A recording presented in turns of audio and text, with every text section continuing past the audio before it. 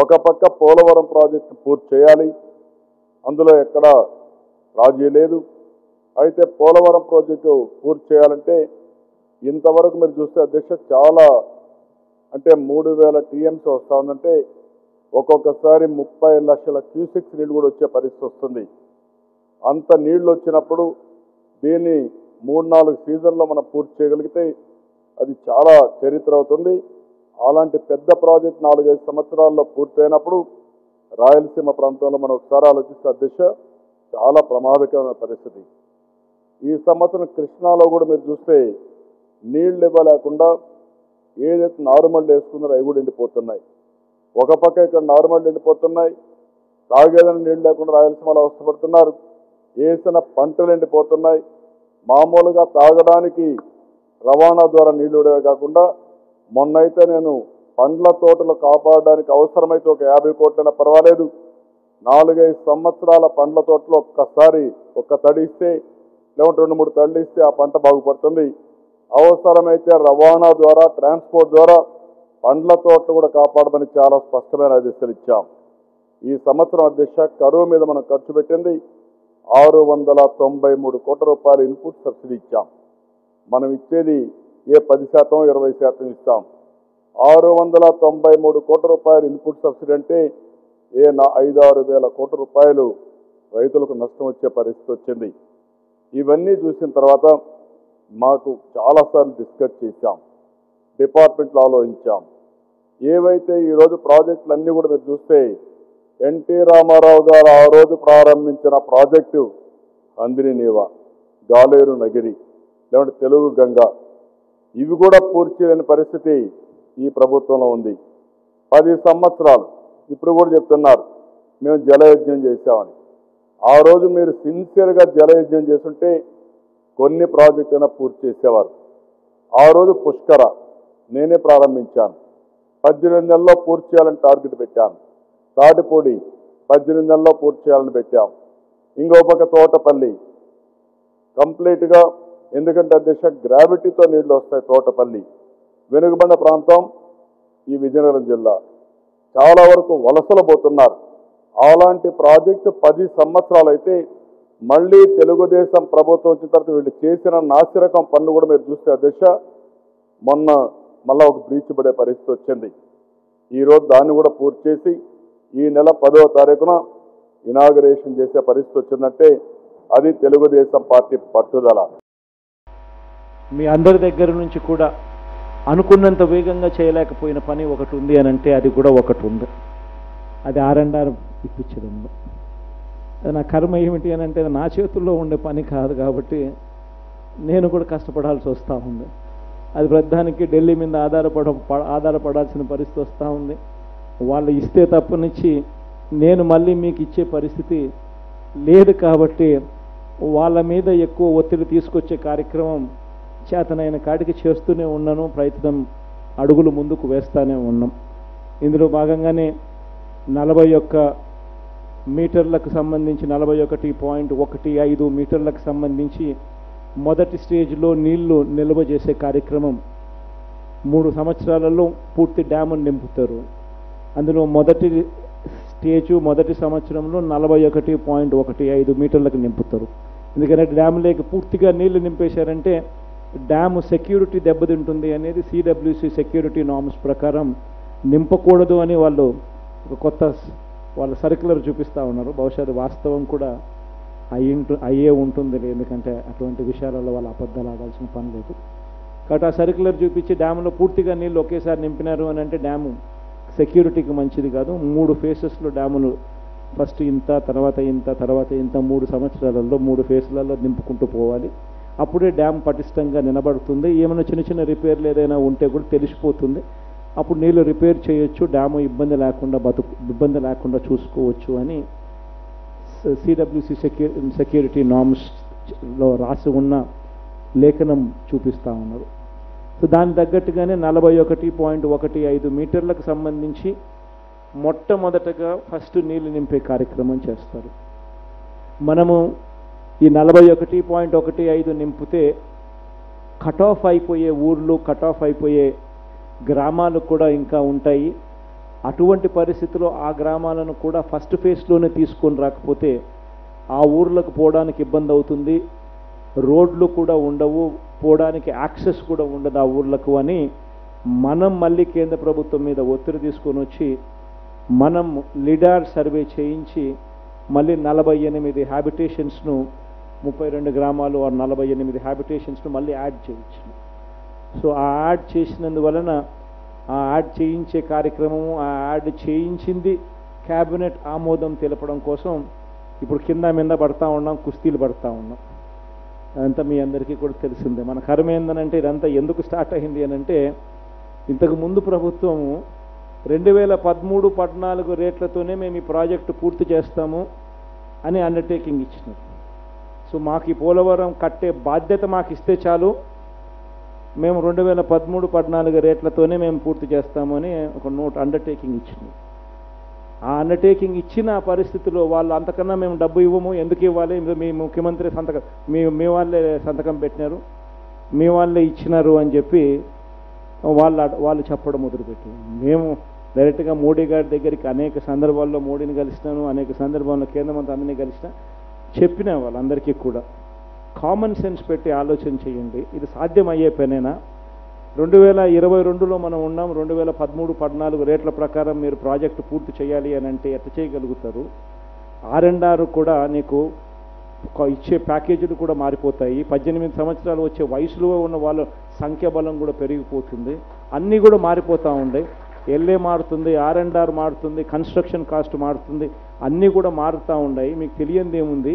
Srisailam project ఎంతతో start చేసినారు ఎంతటితో end అయిపోయింది.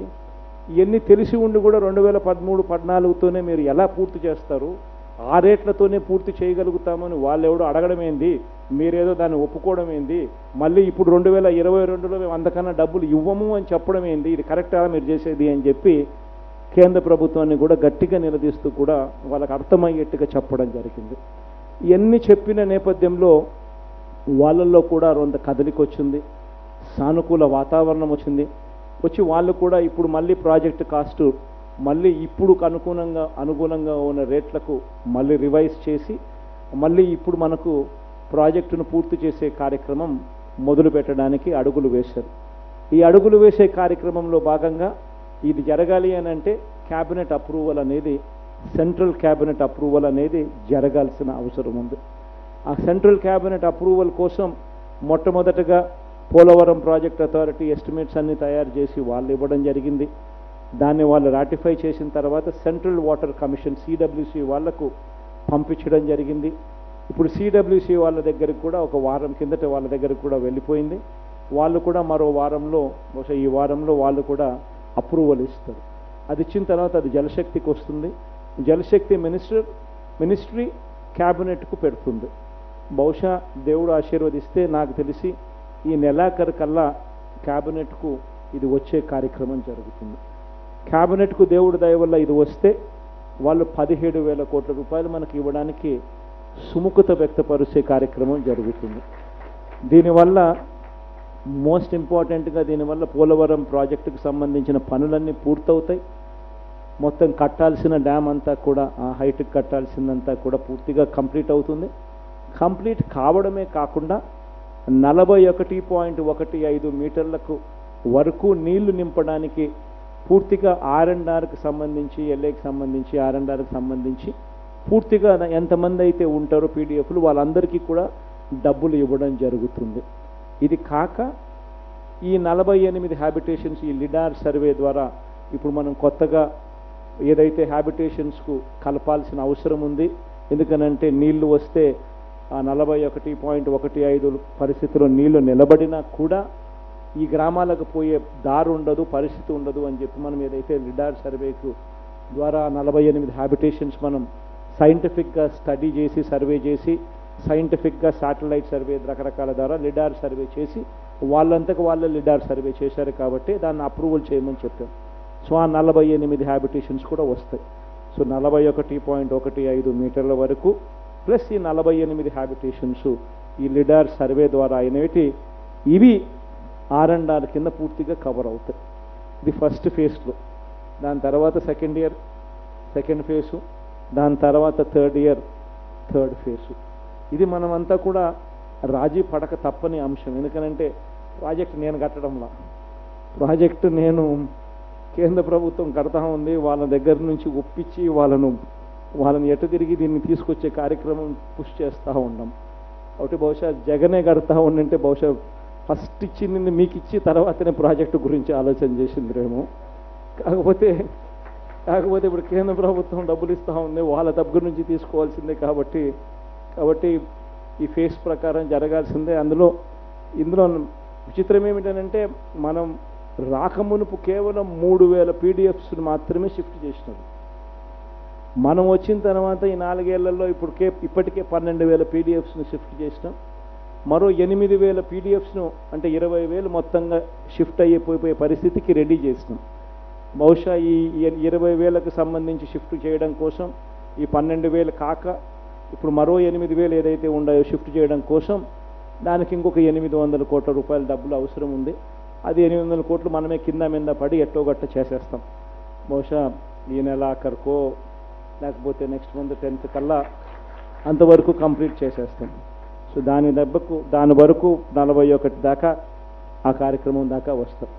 ఇక మిగిలి ఉండేది రాష్ట్ర ప్రభుత్వం మనమంటే అంటే అంటే మనం కొన్ని మాటలు చెప్పినాం. మనం ఏం మాటలు చెప్పినాము అంటే ఫస్ట్ నాన్న హయాంలో దాదాపుగా ఒక నలభై ఏడు వేల ఎకరాలకు సంబంధించిన ప్రొక్యూర్మెంట్ జరిగింది. భూసేకరణ జరిగింది. జరిగినప్పుడు అప్పుడు మరి లక్ష పదివేలకు లక్షన్నరకు లక్ష యాభై వేలకు రకరకాల పద్ధతుల్లో అప్పుడు ప్రాజెక్టు పెట్టడానికి ముందుకొచ్చినారు. మరి ముఖ్యంగా ఈ మండలాల్లో ఉన్న రైతులు ఎక్కువగా ముందుకొచ్చి ప్రాజెక్టును సహాయం చేయడానికి త్యాగం చేసిన ఫస్ట్ రైతులు ఎవరైనా ఉన్నారంటే అది ఈ ప్రాంతానికి సంబంధించిన వాళ్ళే. సో వీళ్ళకు ఆ రోజుటికి ఈ రోజుటికి వాళ్ళు ఆ రోజు కన్నా ఇవ్వకపోయిందంటే వాళ్ళు కూడా కోర్టులో కేసులు వేసి ఇట్నే ఈ మాదిరిగానే చంద్రబాబు నాయుడు ప్రెసిపిటేట్ చేసినట్టుగానే చేసిందంటే వాళ్ళకు కూడా ఈ మాదిరిగానే వచ్చేది కదా వాళ్ళ పట్ల సానుభూతి చూపించాలా కదా అని చెప్పి ఖచ్చితంగా వాళ్ళందరికీ కూడా ఐదు లక్షల రూపాయలు ఖచ్చితంగా ప్యాకేజ్ ఇస్తాము. లక్షన్నర అప్పట్లో ఇచ్చిందంటే మరో మూడున్నర లక్ష మనం ఇస్తాము మనం ఇచ్చి మొత్తానికి వాళ్ళకి ఐదు లక్షల రూపాయలు కనీసంగా వాళ్ళకు కూడా ఇచ్చినట్టుగా చేస్తాము. ఒక లక్షన్నర ఇంతకు ముందు ఇస్తే మనం మూడున్నర లక్ష మనం ఇస్తాము అని మనం చెప్పాం. సో దానికి సంబంధించి నలభై ఏడు వేల మంది సంబంధించి అంతే కదా? నలభై ఏడు వేల మంది కదా ఈ నలభై ఏడు వేల మంది ఎకరాలే కదా? నలభై ఏడు వేల ఎకరాలకు సంబంధించి మనం ఏదైతే ఆ డబ్బు ఇవ్వాలనో ఆ డబ్బు మనం ఇచ్చే కార్యక్రమం చేస్తాం. అది మనది మాట నేను చేస్తా. అది నా మీద నమ్మకం ఉంచండి అది నేను చేసి పెడతా. అది ఖచ్చితంగా అవుతుంది. ఇది కాక రెండో మాట కూడా నేను చెప్పడం జరిగింది. అది ఇప్పుడు ఆరు పాయింట్ ఎనిమిది లక్షలు ఏదో కేంద్ర ప్రభుత్వం ఈ ప్యాకేజీల కింద ఇస్తూ ఉంది. దాన్ని పది లక్షలు చేస్తాము. దానికి సంబంధించి మూడు పాయింట్ రెండు లక్షలు ఏదైతే డిఫరెన్స్ అమౌంట్ ఏదైతే ఉందో అది కూడా మన తరపు నుంచి రాష్ట్ర ప్రభుత్వం తరపు నుంచి ఇస్తామని కూడా చెప్పడం జరిగింది. ఇది కూడా ఇది కూడా నేను మాట ఇచ్చినాను. ఇది నేను మాట ఇచ్చినాను రాష్ట్ర ప్రభుత్వం ఖచ్చితంగా చేసి తీరుతుంది. ఇది కూడా నలభై ఒకటి లెవెల్లోకి వీళ్ళు వచ్చినట్టుగా ఏదైతే వస్తూ ఉండరో ఆ నలభై ఒకటి వస్తానే వీళ్ళు డబ్బులు ఇచ్చేది వీళ్ళు ఇస్తారు. మనం డబ్బు ఇవ్వాల్సింది కూడా ఆ టయానికల్లా ఆ నీళ్ళు నింపే టయానికల్లా మనం ఇవ్వాల్సిన డబ్బు కూడా మనం కూడా వాళ్ళ చేతుల్లో పెట్టి ప్రతి రైతన్నకు కూడా చిరునవ్వు చూసిన తర్వాతనే ఆ నీళ్ళు నింపే కార్యక్రమం జరిగిస్తాను అని మా ఆ ప్రాంతంలో ఖచ్చితంగా అందరికీ కూడా ఈ అయిపోయి చేసే కార్యక్రమం జరుగుతుంది. దేవుడు దయ వల్ల జనవరి కల్లా ఈ నలభై ఒకటి పాయింట్ ఒకటి ఐదుకి సంబంధించిన ప్యాకేజీలు కూడా కేంద్ర ప్రభుత్వం ఇచ్చే ఈ పదిహేడు వేలల్లో ఐదు వేల రెండు వందలు అదే ఉంది. అది కూడా ఎట్ట శాంక్షన్ చేసినారు కాబట్టి తొందరగా ఇవ్వండి అని నేను ఒత్తిడి తీసుకొని వచ్చి అది కూడా జనవరి కల్లా అయిపోయి చేసే కార్యక్రమ గవర్నమెంట్లో ఇంతకుముందు పాత గవర్నమెంట్లో. ఆ తప్పిదం ఏంటి అంటే స్పిల్వే కట్టకుండా డైఫ్రమ్ వాల్ కట్టడం. ఫస్ట్ స్పిల్వే పూర్తి చేసి నీళ్ళు డైవర్ట్ చేసి ఆ తర్వాత కాఫర్ డ్యామ్ కట్టాలి. కాఫర్ డ్యామ్ కట్టిన తర్వాత డైఫ్రమ్ వాల్ తర్వాత వెనకాల కట్టాలి. అలా చేస్తే డ్యామేజ్ అనేది జరగదు. కానీ మన కర్మ కొద్దీ ఆ రోజుల్లో కేవలం కాంట్రాక్టర్లకు మంచి చేయడం కోసమే వర్కులు జరగడం మొదలుపెట్టే ఇష్టం వచ్చినట్టుగా ప్లానింగ్ లేకుండా చేసినారు. ఆ స్పిల్వే పనులు అసంపూర్ణంగా వదిలిపెట్టినారు. వదిలిపెట్టినారు కాబట్టి నీళ్ళు అటువైపు నుంచి డైవర్ట్ చేయలేకపోయారు. నీళ్ళు అటువైపు నుంచి డైవర్ట్ చేయలేకపోయారు కాబట్టి అటువైపున నీళ్ళు పంపించలేకపోయారు. పైగా అది కంప్లీట్ కాకుండానే మధ్యలో కాఫర్ డ్యామ్ కన్స్ట్రక్షన్ కూడా మొదలుపెట్టారు. డయఫ్రమ్ వాళ్ళు కూడా మెయిన్ డ్యామ్కు డయఫ్రమ్ వాళ్ళు కూడా పునాదుల కార్యక్రమం కూడా చేయడం మొదలుపెట్టారు. ఈ పునాదులు చేసే కార్యక్రమం అయిపోక తలికేనే డై కాఫర్ డ్యామ్ అనేది పూర్తి చేయలేకపోయారు. ఎందుకనంటే కాఫర్ డ్యాము రెండున్నర కిలోమీటర్ గోదావరి వెడల్పును కాఫర్ డ్యాము రెండు గ్యాపులు ఇడిచిపెట్టాల్సి వచ్చింది. నాలుగు వందల గ్యాపులు ఒక చోట నాలుగు వందల గ్యాపులు ఒక చోట పదహారు వందలు మాత్రమే కాఫర్ డ్యామ్ మధ్యలో కట్టినారు ఆ కాఫర్ డ్యామ్లో ఆ గ్యాపులు ఇడిచిపెట్టక ఎందుకు ఇడిచిపెట్టాల్సి వచ్చింది అని అంటే కారణం నీళ్ళు పోవాలి. స్పిల్వే మీద నుంచి పోని పంపించలేరు. స్పిల్వే కంప్లీట్ కాలేదు. స్పిల్వే పూర్తి కాలేదు కాబట్టి స్పిల్వే మీదుగా నీళ్ళు పంపించలేరు కాబట్టి నీళ్ళు మెయిన్ నీళ్ళు ఈ రెండున్నర కిలోమీటర్ల గోదావరి వెడల్పులో నుంచి పంపించాలి. కానీ గోదావరి వెడల్పు రెండున్నర కిలోమీటర్ రెండున్నర కిలోమీటర్ కాస్త ఒక చోట నాలుగు వందలు ఇంకో చోట నాలుగు వందల గ్యాపులు మాత్రమే మిగిలి ఉన్నాయి మిగతా ఇదంతా కాఫర్ డ్యామ్ కట్టింది కాబట్టి ఇంక నీళ్ళు ఎప్పుడైతే ఉధృతంగా గోదావరి పొంగిందో అప్పుడు ఆ గ్యాపుల్లో నుంచి మాత్రమే నీళ్ళు రావాల్సి వచ్చింది. దానివల్ల వెలాసిటీ పెరిగింది స్పీడ్ పెరిగింది. దానివల్ల స్కౌరింగ్ జరిగి కాఫర్ డ్యాంలో స్కౌరింగు డయఫ్రమ్ వాల్ స్కౌరింగు ఇవన్నీ జరగడంతో ఇప్పుడు ఆ స్ట్రక్చర్కు ఇప్పుడు మళ్ళీ కరెక్ట్గా దాన్ని రిపేర్ చేసి ఆ స్ట్రక్చర్ను మళ్ళీ డ్యామ్ కట్టే స్ట్రక్చర్ డిస్టర్బ్ కాకుండా మళ్ళీ పూర్తిగా స్ట్రాంగ్గా కట్టడం కోసం అని చెప్పి ఇన్ని రోజులు అధ్యయనం. ఈ అధ్యయనం చేసిన తర్వాత ఇప్పుడు కొత్త డైఫ్రమ్ వాళ్ళు కట్టాలని నిర్ణయం తీసుకోవడము కొత్త ఇప్పుడు కాఫర్ డ్యామ్ ఫస్ట్ పూర్తి చేయడము ఈ లోపల మనం స్పిల్వే కార్యక్రమం పూర్తి చేసినాం కాబట్టి నీళ్ళు స్పిల్వే మీదుగా ఇప్పుడు నీళ్ళు గేట్లన్నీ స్పిల్వే మీదుగా ఎత్తినాము. ఎత్తి నీళ్ళన్నీ ఇటువైపు నుంచి రాకుండా ఇటువైపు నుంచి వస్తూ ఉన్నాయి ఇవన్నీ మనం చేయగలిగినాం. సో ఎన్నిటి వల్ల ఏం జరిగిందనంటే ప్రాజెక్టు మనం అనుకున్నంత స్పీడ్లో ముందుకు పోలేకపోయినాం. సో ఇవన్నీ కూడా అధిగమించి ఇప్పుడు దేవుని దయ వల్ల కొంచెం గాడిలో పడింది. రెండు వేల ఇరవై ఐదు ఖరీఫ్ కల్లా ఖచ్చితంగా గోదావరి పోలవరం ప్రాజెక్టు పూర్తి చేసి నీళ్ళు కూడా పెట్టే పరిస్థితి వస్తుంది జూలై ఆగస్టులో ఆ వరదలు రెండు వేల ఇరవై ఐదు జూలై ఆగస్టులో నలభై ఒకటి పాయింట్ ఒకటి ఐదు మీటర్లలో నీళ్ళు పెట్టే పరిస్థితి కూడా దేవుని దయ కారెండర్ రాలేదు నా కారెండర్ రాలేదు నా కారెండర్ రాలేదు అంటే అవును రాలేదబ్బా. నేను కూడా ఒప్పుకుంటున్నా కాలేదు. అదే టైం రావాలి ఆ టైం వచ్చినప్పుడు అదే అది- అది ఇది ఇవన్నీ జరిగేదాకా వాళ్ళు డబ్బులు ఇరు ఇవన్నీ డబ్బులు ఇవ్వకపోతే ఈ పని జరగదు. ఇవన్నీ జరగకపోతే వాళ్ళు డబ్బులు ఇవ్వకపోతే మనం కూడా ఇవ్వలేము అన్నది కూడా అంతే వాస్తవం అన్నది కూడా మనం కూడా కొంచెం మనసులో పెట్టుకోవాల్సిన అవసరం అందరికీ కూడా ఉంది. కాబట్టి దేవుని దయ ఈరోజు ఈ నుంచి ఈ నెలాఖరికల్లా క్యా కేంద్ర క్యాబినెట్ ఆమోదం తెలిపితే మనకు ఫస్ట్ ఈ పదిహేడు వేల అప్రూవల్ వచ్చేస్తే ఆ తర్వాత ఈ నలభై ఒకటి పాయింట్ ఒకటి ఐదు మీటర్లకు ఆ నలభై ఎనిమిది హ్యాబిటేషన్స్ వీటికి సంబంధించిన ఐదు వేల రెండు వందల కోట్లు ఫస్ట్ డంప్ చేసే కార్యక్రమం పెడతాం. సో దేవుడు ఆశీర్వదిస్తే దీని మీద కూడా గట్టిగా ప్రెజర్ పెట్టి ఈ జనవరి కల్లా కనీసం ఈ ఇంతవరకు ఆర్ అండ్ ఆర్ అయ్యే కార్యక్రమం జరిగేట్టుగా చూస్తాం. జనవరిలో మన రాష్ట్ర ప్రభుత్వం తరపు నుంచి కూడా మనం ఇవ్వాల్సిన డబ్బులు కూడా జనవరిలో ఫిబ్రవరిలో మీకు అది కూడా పూర్తిగా కంప్లీట్ చేసే కార్యక్రమం కూడా అయిపోయి చేస్తాం. ఆ నలభై ఒకటి పాయింట్ ఒకటి ఐదు మీటర్లు ఆ నలభై ఎనిమిది హ్యాబిటేషన్స్ ఆ నలభై ఎనిమిది గ్రామాలకు సంబంధించి. అంతవరకు ఖచ్చితంగా అవుతుందని ఈ పద్ధతిలో జరుగుతుందని దేవుని దయతో జరుగుతుందని చెప్పి అందరం కూడా ఆశిద్దాం. అందరం కూడా ఆ మేరకు అంటే ఇది నేనే ఇది ఎందుకు నేను హండ్రెడ్ పర్సెంట్ ఖచ్చితంగా ఎందుకు చెప్పలేకపోతున్నాను అని అంటే నా చేతుల్లో కేంద్ర క్యాబినెట్ నా చేతుల్లో లేదు. కేంద్ర క్యాబినెట్ ఆమోదం తెలపాలి. నేనేమో పుష్ చేస్తూ ఉన్నాను కాబట్టి కొద్దిగా నేను హండ్రెడ్ పర్సెంట్ గట్టిగా బల్లగుద్ది చెప్పడం లేదు కానీ ఖచ్చితంగా నెలాఖరుకు ఒకడవ అటు ఇటుగా అవుతుంది అనేది ఖచ్చితంగా చెప్తాను. సో ఇది అందరం కూడా గుర్తుపెట్టుకోవాల్సిన అంశం.